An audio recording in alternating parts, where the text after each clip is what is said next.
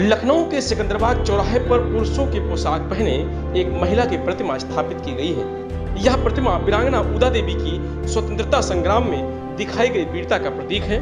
उदा देवी ने अठारह की लड़ाई में अपनी वीरता से कई अंग्रेज़ों को मौत के घाट उतार दिया था। इतिहास के पन्नों में उन्हें भले ही वो स्थान नहीं मिल पाया हो, जितना मिलना चाहिए था।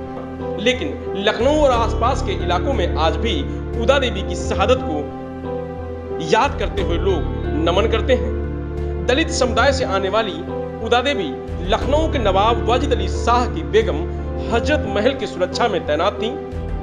जबकि उनके पति मक्का बासी नवाब की सेना में थे। उदा देवी का बलिदान आज़ादी की लड़ाई में दलितों के योगदान और महिलाओं की भूमिका को बयां करता है।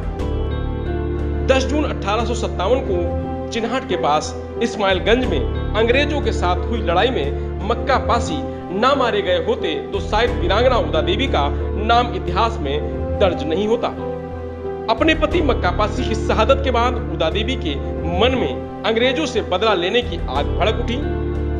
वह बेगम हज़रत महल की महिला सेना में भर्ती हुई। सिकंदर बाग की लड़ाई में 16 नवंबर अठारह को वह पुरुषों के वेश में एक पेड़ पर चढ़ गईं और वहीं से करीब 36 अंग्रेज़ सैनिकों को मार गिराया।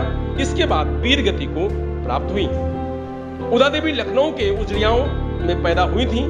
यह वर्तमान में गोमती नगर क्षेत्र में है। उनके जन्म की सही तारीख तो नहीं पता, पर इतिहासकारों के मुताबिक उनका जन्म 1830 के आसपास हुआ था। जब वह 17 वर्ष की थी, तभी उनका विवाह मक्का पासी से कर दिया गया।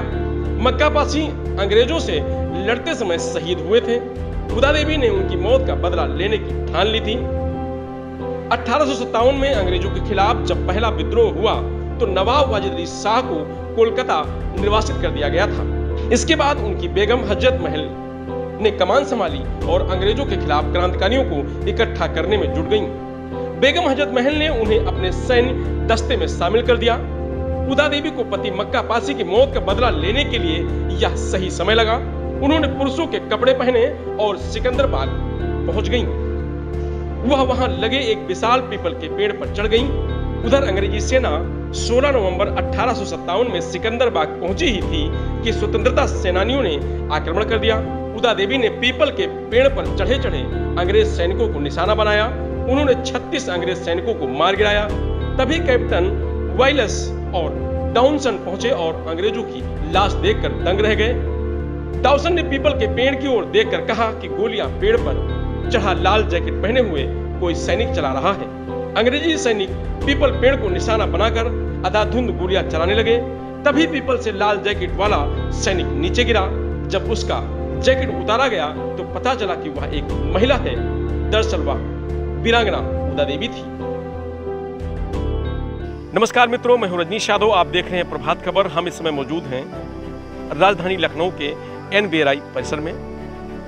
हमारे पीछे तस्वीर में जो दिखाई दे रहा है, ये ऐतिहासिक बरगद का पेड़ है, जो लगभग 200 साल पुराना है। जो हमारे पीछे तस्वीरों में ये पेड़ दिखाई दे रहा है, इस पेड़ का ऐतिहासिक बड़ा महत्व है, क्योंकि इसी पेड़ पर अठारह सौ सत्तावन में वीरांगना उदा देवी इसकी शाखाओं पर चढ़कर अंग्रेज़ी सैन्य के छक्के छुड़ाए थे और उनसे लड़ते लड़ते इसी वृक्ष के पास शहीद हो गई थी।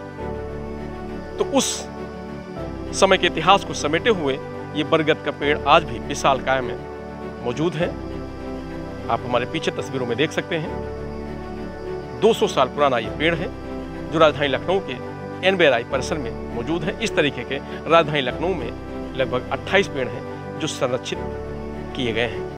प्रभात खबर डॉट कॉम, विश्वास वही, रफ्तार नहीं